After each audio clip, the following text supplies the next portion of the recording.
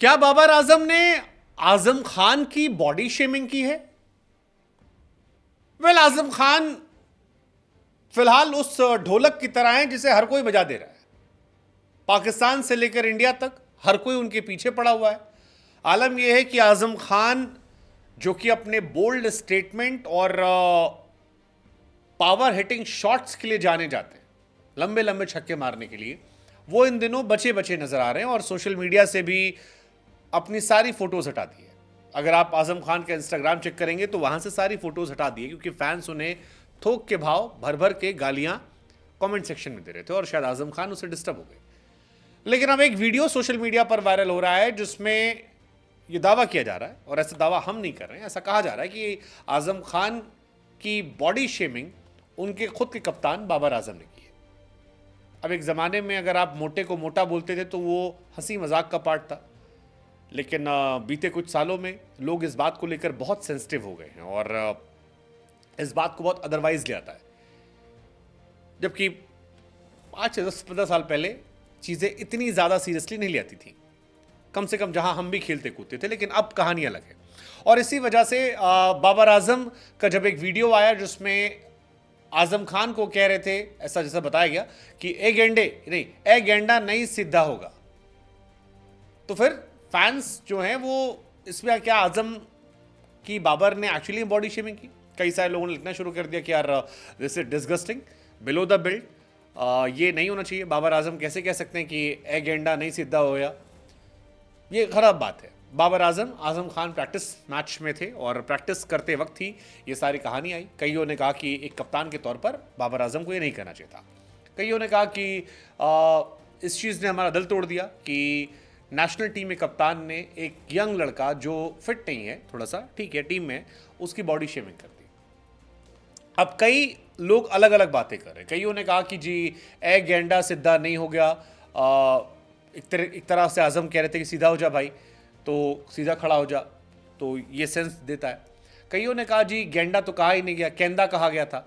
अब गेंडा कहा गया केंदा कहा गया लेकिन इसकी चर्चाएँ फ़िलहाल बड़ी ज़्यादा हो रही है और बहुत तगड़े से लोग चर्चा कर रहे हैं कि यार आज़म खान क्यों ढोलक की तरह हर तरह से पीटे जा रहे हैं।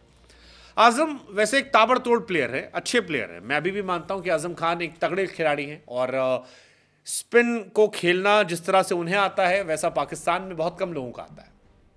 लेकिन आज़म खान क्योंकि मोइन खान के लड़के हैं, आज़म खान क्योंकि भारी भरकम है, इस वजह से उनको लेकर ज़्यादा तंज कसे जा रहे हैं।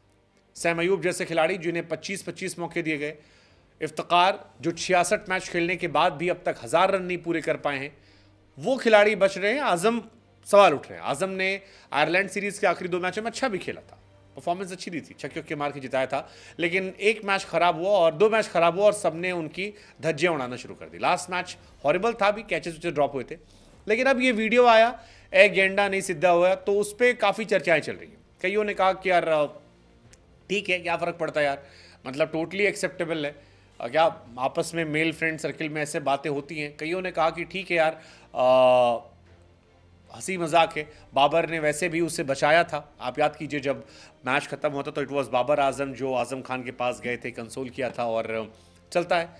कई लोग कह रहे थे कि यार फ्रेंड सर्किल में चीज़ें चलती हैं। वहाँ पर हँसी मज़ाक जोक जो है वो होता है, आप 24 घंटे साथ रहते हो। ये एक फ्रेंडली बैंटर है जिसमें कुछ कुछ लोगों के साथ आप कंफर्टेबल होते हो, जिसमें आप एक दूसरे को बोलने की इजाज़त देते हो। कईयों ने इंडिया में भी रोहित शर्मा के किस्सा दिलाया कि रोहित या विराट जब भी ये लोग जूनियर से बात करते हैं, कई बार आपने देखा होगा कि कई सारी बातें कह रहे थे। जैसे रोहित का वो चलता है कि गार्डन में घूमने वाले बंदे, कि अगर कोई गार्डन में घूमता मिल गया तो मैं उसकी माँ डॉट डॉट डॉट। तो लोगों ने कहा कि यार रोहित ने तो गाली दी थी। अब आज़म को गाली तो नहीं दी गई है हँसी मज़ाक है तो इसको इतना बुरा नहीं लेना चाहिए। हालाँकि कई लोग इसे बॉडी शेमिंग के तौर पर देख रहे हैं और बहुत ज़्यादा इसको लेकर बातें चल रही हैं कि ये सारी कहानियाँ जो हैं कैसी हैं। हमें लगा आपसे पूछें कि आज़म खान को लेकर बाबर आज़म ने वाकई में ऐसा कहा है या आपको लगता है कि तल का ताड़ बनाया जा रहा है? दूसरी बात कि आ, अगर कहा है तो क्या ये सही है या दोस्ती यारी के चक्कर में छोड़ देना चाहिए? और सबसे इंपॉर्टेंट सवाल, कि आज़म खान को क्या ज़रूरत से ज़्यादा टारगेट किया जा रहा है? मतलब ये वही प्लेयर हैं जिन्हें अभी पीएसएल में बेस्ट विकेट कीपर का अवार्ड मिला था और अब सारी दुनिया उनके पीछे पड़ गई है। उसकी वजह भी है इंग्लैंड के सामने पहले टी ट्वेंटी मैच में दस बॉल पे ग्यारह रन और दूसरे में पाँच बॉल पे ज़ीरो जिसमें मार्कवुड की एक बॉल कान के बगल से गई और वो आउट हो गए और उनके एक्सप्रेशंस बहुत ज़्यादा वायरल होने लगे।